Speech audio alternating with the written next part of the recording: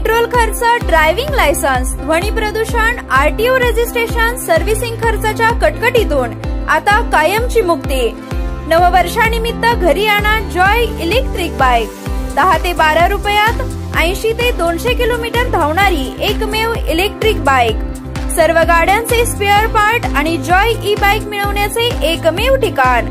Raj automobiles Tasgaon road Palus.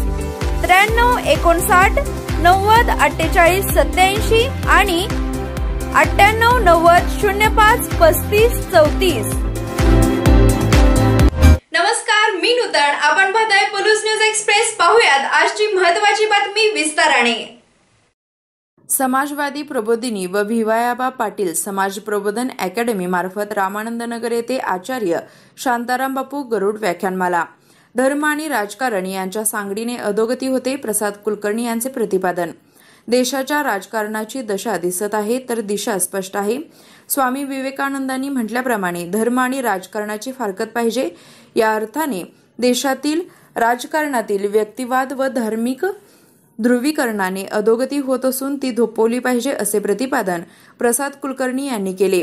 Ramanand Nagar येथे समाजवादी प्रबोधिनी व व्हीवायाबा पाटील समाज प्रबोधन अकॅडमी आयोजित आचार्य शांताराम बापू गरुड व्याख्यानमालेत राजकारणाची दशा आणि दिशा या विषयावरील पहिले पुष्प त्यांनी गुंफले. याप्रसंगी ते म्हणाले पुरोगामी पक्षांनी वैचारिक पायावरील नवी पिढी घडवली नाही. ही मोठी कमजोरी असल्याने राजकारणाचे व संस्कृतीचे विकृतीकरण आणि बाजारीकरण झाले आहे.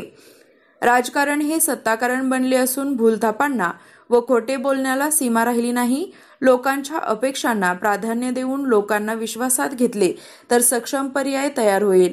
याप्रसंगी डॉक्टर अमोल पवार यांनी मनोगत व्यक्त केले. याप्रसंगी प्राध्यापक N D Patil captain Rambhau Lad comrade Namdev Gawade यांना श्रद्धांजली वाहिली. आदम पठाण सर यांनी प्रास्ताविक व सूत्रसंचलन केले. यानंतर सौ मोहिते मॅडम यांच्या सुश्राव्य पसायदानाने समारोप झाला. याप्रसंगी V Y Patil doctor Amol Pawar Maruti Shirtode Shivajirao Adsul P K Mane प्राध्यापक लक्ष्मण मोठे एन जे पाटील फाटक गुरुजी बीबी खोत जयवंत मोहिते तानाजी चव्हाण उत्तम सुतार सुनील पाटील दिलीप पाटील संदीप नाझरे शहाजी चव्हाण परवेज पिरजादे सुनील पाटील आदी मान्यवर हजर होते.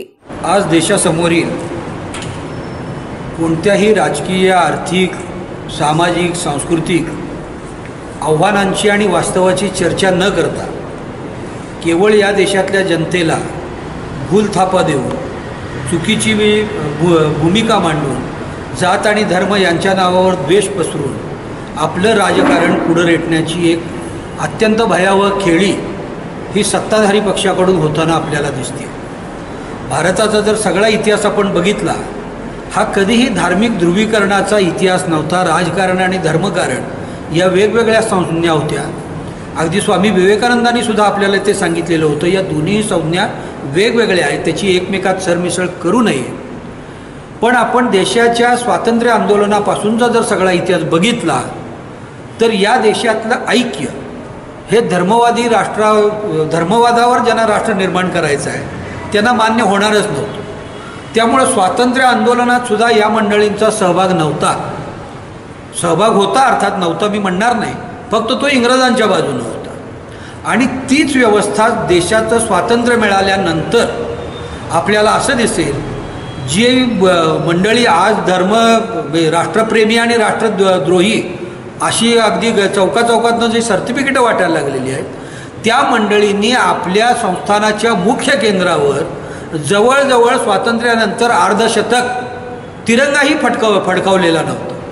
उलट ते स्वातंत्र्याला काळाधीन मानत होतं. आणि तीच मंडळी आज देशावर एक प्रकारचं वेगळं गारूड करून जनतेची दिशाभूल करून जमिनीवरच्या प्रश्नांपासून लोकांना लांब करून काहीतरी नसलेले प्रश्न निर्माण करायचे आणि समाजाला पुन्हा एकदा जातीच्या आणि धर्माच्या खाईत लोटायचं आणि त्यातून आपण सत्याच्या लोण्याचा गोळा मिळवायचा अशा पद्धतीचं राजकारण गेल्या दशका दोन दशकामध्ये भारतामध्ये सुरू झालेलं आहे.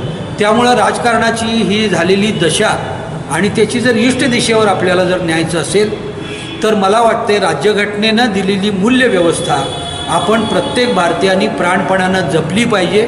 त्याच्याबाबतचं प्रबोधन संघटन हे त्या पद्धतीनं केलं पाहिजे. आपण भारतीय म्हणून अतिशय समृद्ध असा विचार वारसाचे पायी करून तो विचार वारसा आपण घेऊनच पुढं जाणं गरजेचं आहे. कुठ जगामधला इतिहास जर आपण बघितला उठलेल्या मातलेल्यांना सर्वसामान्य जनतेनंच खाली खेचलेला आहे. कारण जनतेला कुठल्याही प्रश्नापेक्षा आपलं पोट महत्त्वाचं असतं. जात धर्म हा नंतरची गोष्ट आहे. पहिला पोटाचे प्रश्न रोजगारीचे प्रश्न हे सोडवावे लागतात. जनतेला महागाईचा प्रश्न आहे. पण त्याची कुठलीही चर्चा न करता जमिनीवरच्या प्रश्नांपासून बाजूला काढण्याचं जे काही कारस्थान होतं हे एक प्रकारचं षडयंत्र आहे. ते षडयंत्र उधळून लावणं ही या देशातल्या सर्वसामान्य माणसाची गरज आहे आणि तो ती उधळून लावेल याच्याबद्दलची मला खात्री आहे. अशाच ताज्या बातम्यांसाठी पाहत रहा पोलूस न्यूज एक्सप्रेस. लाईक करा शेअर करा सबस्क्राईब करा पोलूस न्यूज एक्सप्रेस.